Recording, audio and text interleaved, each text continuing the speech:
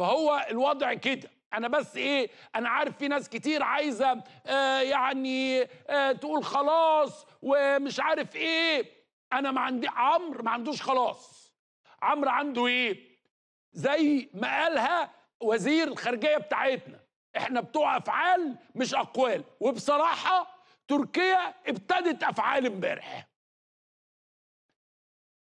هي لسه إحنا في الحلحلة.